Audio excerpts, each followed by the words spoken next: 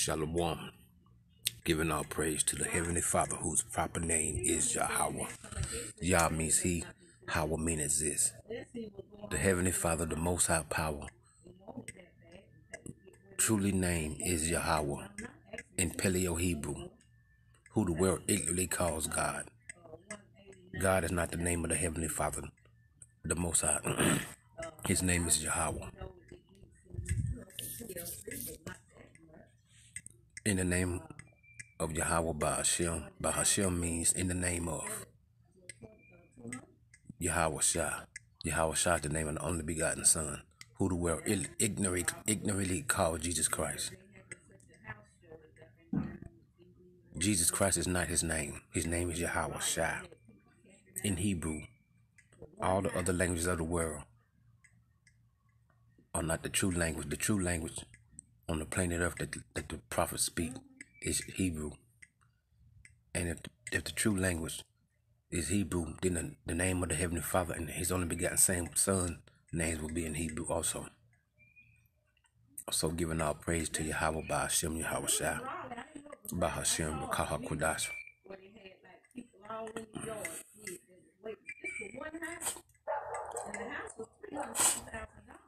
Double honors to the elder apostles a Great Millstone, who I learn from every day. The elder apostles of the Great Millstone Hebrew Israelite School.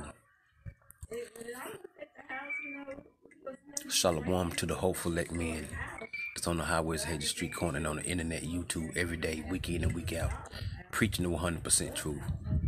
The warning that the Lord, when the Lord returns, He's gonna destroy the wicked kingdom of, of the planet Earth and put all of the nations into captivity. Is that simple? Let's go to Amos 9, chapter 8, verse. Behold, behold, the eyes of the Lord, power, are upon the sinful kingdom.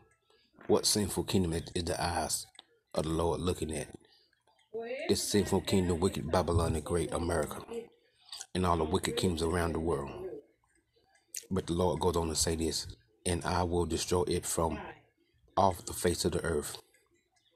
The Lord is coming back to destroy America, Babylon the Great. Off the face of the earth is going to be total destruction. and I will destroy it off the face of the earth. Saving that I will not utterly, utterly destroy the house of Jacob. Saith the Lord, Yahweh by Shem. See, the Lord's not, he's not, he's not going to completely destroy the so-called blacks, Hispanic, and Native American Indians, the Israelites. He's going to save one third, and he's going to save a remnant. The elect is who he's going to save. That's why the men of the Lord, like such as myself, I'm striving to be every day. We have hope that the Lord is going to choose us. We have hope that we are of the elect, and the Lord is coming back to save His elect. Let's let's get let's prove that everybody. Matthew 24, 14, I think that's it. Well,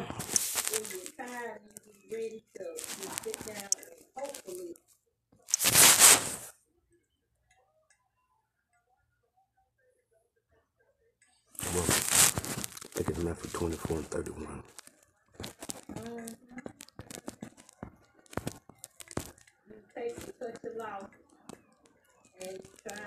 Yes. the scripture that proved that the Lord was coming back to save his elect and his elect only is that simple. It's Matthew 24th chapter 31st verse. This is this is Yahweh Shah speaking, the only begotten Son of our Lord and Savior, the only begotten Son of the Heavenly Father. And it reads, And he shall send his angels with a great sound of a trumpet, and they shall gather together his elect. That's the part right there. The Lord is coming back together, together his elect from the four winds, meaning from all four directions of the planet Earth, from one end of the heaven to the other. It's that simple. And those of us that have faith in the Lord Yahweh by Hashem Yahushua, we are patiently waiting on the Lord's return. It's that simple. You can see the signs in the in the news, you filter what you see in the news through the Holy Scriptures. That's let you know that the prophecies are being fulfilled. A prophecy is something that was spoken way back that's coming to reality today. So just wanted to go live right quick and do a Bible lesson. The eyes of the Lord is on the sinful kingdom, and, he, and the Lord is going to ultimately destroy, utterly destroy the sinful kingdom, Babylon the Great America, and all the wicked kingdoms of the planet Earth. But the Lord goes, He gonna send His angels, and the Lord is gonna gather His elect from the four corners of the planet Earth. It's that simple. So it's the best that the so-called blacks, Hispanic, and Native American Indians should come back to serving the Lord and repent. Let's get that Acts three nineteen. Acts three nineteen.